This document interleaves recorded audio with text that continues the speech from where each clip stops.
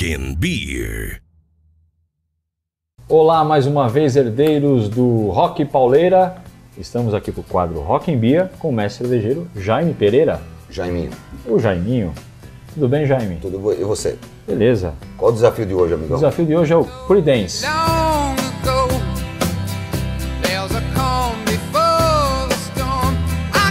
Interessante deles é que o nome tem a ver com cerveja. Sabia dessa? Não. Não? Creedence é porque existia um amigo do pessoal da banda que se chamava Creedence.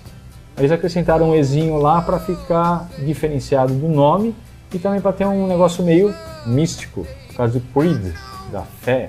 E Clearwater, porque existia uma cerveja na década de 60 e tinha uma campanha publicitária daquele negócio dos ventos, batendo, eles acharam 1960. na década de 60. Dá pra gente dar um clique? Ah, vamos dar uma, uma referência aqui para você ver, ok?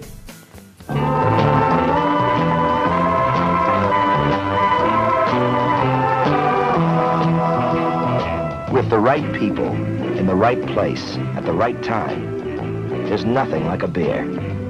A really good beer, like Olympia.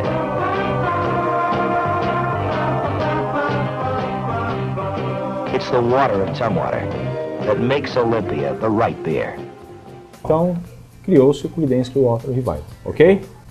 Começar por onde, Jaime? Eu acho que bom, batidas por minuto com álcool sempre é um bom começo.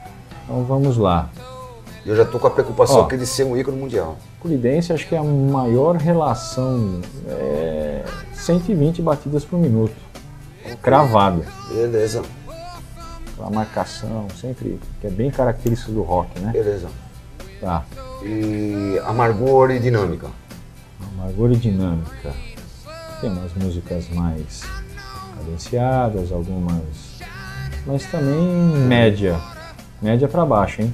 Média pra baixo. Hum. Ok, Ok? ok, um pouquinho pra baixo. Corpo e peso? Não muito, eu acho. Não muito, não muito. Do meio pra baixo um Do pouquinho. meio para baixo, Ok. chega a ser até um folk de vez em quando, um country folk, Não, tá show. um show negócio bola. bem americano mesmo. Cor? Cor é mais, mais amarelinha, hein? Um amarelo vibrante, um amarelo tem que, para ser um credence tem que ser um amarelo muito vivo. Hoje qualquer um que entra para fazer uma aula de, de violão vai aprender uma música do, do Creedence no, no início da aula. Ok. Bem num quarto da, da escala de cor aí. É isso aí. E por último, alquimia Álcool. e efeito. Alquimia, efeito, do meio para baixo. Ok, show de bola. Mais um desenho totalmente diferente do que nós fizemos, hein, Rodrigo?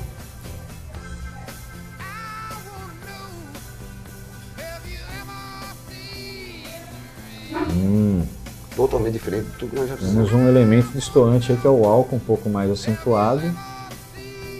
Por não estar balanceado, vamos ter dificuldade para encontrar É alguma. isso daí. Ele tem que ser um ícone mundial. Vamos procurar. Tem alguma coisa em mente já? Claro, só, Então- só checar e bater.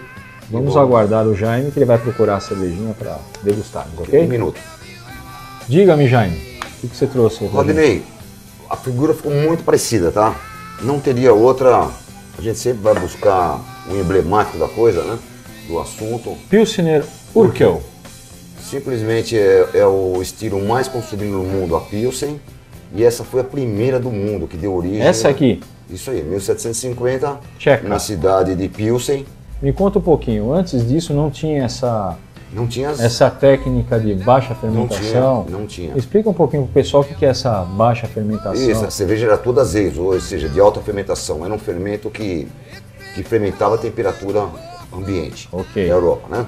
E aqui, E, e a partir de 1750 descobriram esse, esse tipo de levedura que ele, que ele acontecia nos porões da Alemanha no- durante o inverno, que era uma levedura diferente do que se conhecia e alta fermentação, porque uma acontecia por cima e outra acontecia por baixo, né? geograficamente falando.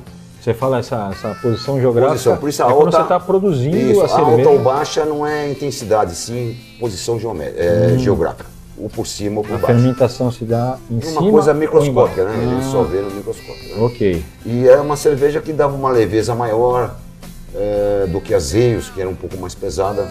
Então a cerveja que eh, na época foi feita pro verão. e acabou se deflagrando na, na bebida mais popular do mundo em função do baixo custo de produção. Se consegue fazer grandes fábricas, grandes escalas. Mas isso é bom ou ruim já? É, para se baratear, às vezes se sacrifica a matéria-prima em função de custos e a cerveja que tem mais, vamos dizer, populares no mundo. É mais Você falou um que sacrifica a matéria-prima. Isso seria o que especificamente? Aqui no Brasil se coloca arroz e milho, né? Isso não é não, Não, é, é, nobre, né? Isso Não aqui é uma nobre. cerveja puro malte, ok? Hum. É uma lager, mas ela é puro malte, não tem arroz e milho, não tem química, não tem nada. Tanto que ela segue ali de pureza alemã, né? Tanto a Ah, isso que eu ia Áustria, perguntar. como a República Tcheca e Alemanha e Holanda. O que, que é essa lei de pureza?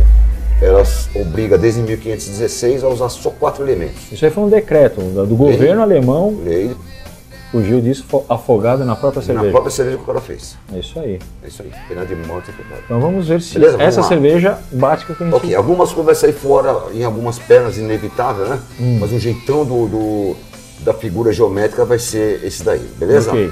Então o amargor ligeiramente abaixo do que nós plotamos aqui. Isso aqui está em torno de 40 IBUs, tá? IBU, que é International Bitter Unit, que é a unidade de amargor, que a escala é de 0 a 120 o sensorial do ser humano. perfeito. Então o IBU aqui em torno de 40, o álcool bem nos 5%. Tá. É, o corpo é exatamente em cima do que nós botamos aqui, da nossa banda. A alquimia e o efeito fica por conta dessa garrafa verde, que só boas cervejas podem entrar numa garrafa verde em função da foto-oxidação, né? Isso tem a, a cor da garrafa, ela interfere no sabor da cerveja? Interfere sim. Por causa da Sim. incidência do- da luz. Isso, é uma foto-oxidação proposital, né? Hum. Quase todas República Tcheca é, vai ser garrafa verde, que são as melhores pilsen do mundo. E Né? tem o charme aqui de ser Essa, a cerveja de né? Pilsen, Pilsen, da cidade de Pilsen, e, e foi a primeira. ok? a primeira, Urkel. Então, alquimia bem aonde nós estamos plotando aqui. A cor é exatamente essa que nós plotamos. É uma cerveja clarinha por ser Pilsen. Isso, mas também não clara como as que nós conhecemos aqui no Brasil. ok? Nós vamos ver no copo que ela é bem mais brilhante e, e Não vistosa. mais dourado, né? mais dourado. Um amarelo dourado. Então, o paralelograma ficou mais ou menos isso. Não é um paralelograma, né? É uma figura geométrica, ok? Ok. Muito parecido. O espectro que mais se aproxima do que nós botamos é essa daqui. Perfeito. Vamos experimentar então? Vamos experimentar, enquanto isso eu vou deixar rolando o Creedence Ok. aqui pra nós. Pra gente harmonizar certinho.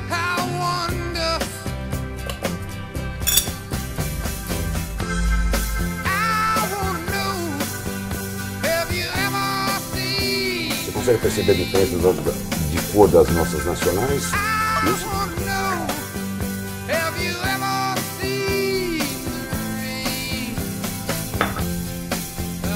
Creedence. Clearwater Revival. Até a semana que vem com Rock and Beer. Até lá.